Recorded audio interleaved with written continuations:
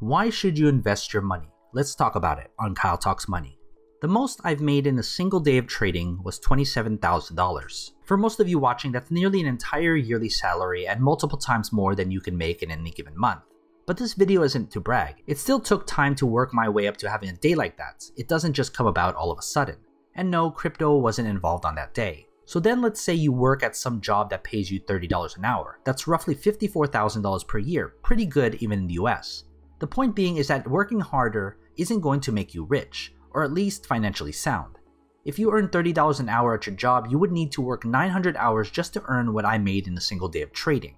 Say you work 40 hours a week, that's 22.5 weeks, or about 5.6 months.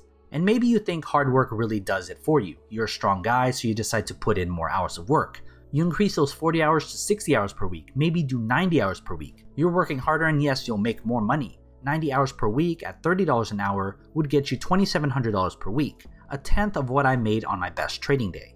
Working hard, hard work, will not make you rich. Your job is merely to provide the capital. That capital will then need to be invested so that your money will make you even more money. Think of that money as little helpers who make more of those little helpers that can help you make even more helpers to make you money.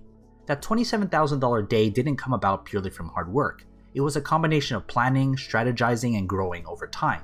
Even if you ramped up your hours to 90 per week, there are only 168 hours in a week. 90 hours spent working plus 56 hours sleeping, that leaves you with only 22 hours of growth. That growth is all mental, where the accumulation of knowledge compounds at an exponential rate far greater than the effects of hard work alone.